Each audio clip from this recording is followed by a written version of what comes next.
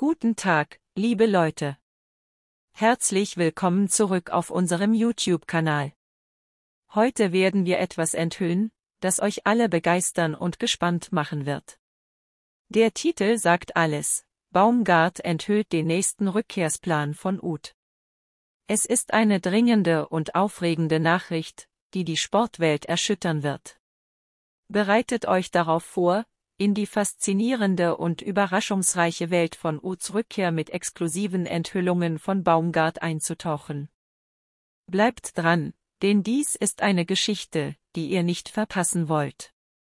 Drückt jetzt schon auf den Like-Button, damit ihr keine Neuigkeiten von Köln verpasst. Vor vier Wochen überraschte Trainer Steffen Baumgart noch mit der Aussage, über Marc brauchen wir nicht reden, er ist von allem weit weg, und schob hinterher, wir müssen gucken, dass er sich in den Bereich reinarbeitet, dass er wieder Bundesliga-tauglich ist. Das ist er im Moment nicht. Einen Monat später ist daran jetzt zumindest schon wieder zu denken. Denn Uth ist nicht nur voll im Mannschaftstraining. Er steht vor seinem ersten Pflichtspieleinsatz seit seinem Verletzungsaus nach dem Pokalspiel Mitte August in Osnabrück, wenn auch nicht für die Profis. Baumgart verrät Uths Comeback-Plan. Bei Marc und Florian Dietz ist unser Gedankengang, sie am Samstagabend bei der U21 ins normale Spielen zu bringen. Weil es eben noch Unterschiede zwischen Spiel und Training gibt. Ut erstmals seit elf Jahren. Im FC-Einsatz bei den Regionalliga-Amateuren.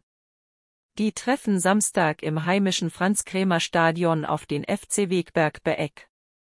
Uth soll sich da die nötige Wettkampfhärte holen und schauen, ob sein Körper mitspielt. Wie geht es danach weiter?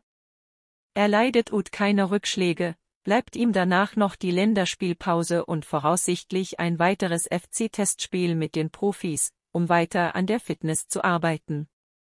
Anschließend könnte er schon im Derby gegen Gladbach, 22.10., oder eine Woche später beim Leipzig-Spiel wieder im Profikader stehen.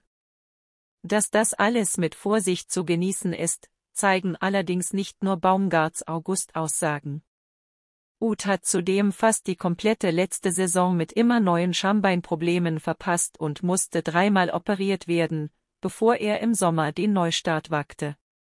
Wie sehr Kölns Topstar vor allem offensiv fehlt, zeigt der einfache Blick auf die Tabelle. Wir freuen uns sehr, dass ihr uns bei dieser aufregenden Enthüllung begleitet habt. Vergesst nicht, unseren Kanal zu abonnieren und die Glocke für Benachrichtigungen zu aktivieren, damit ihr keine Details zur Rückkehr von Uth und anderen Neuigkeiten des 1. FC Köln verpasst. Hinterlasst eure Kommentare unten, um eure Erwartungen zu teilen, und natürlich ist ein Daumen nach oben immer willkommen. Vielen Dank, dass ihr bei uns wart, und bis zum nächsten Video. Auf Wiedersehen.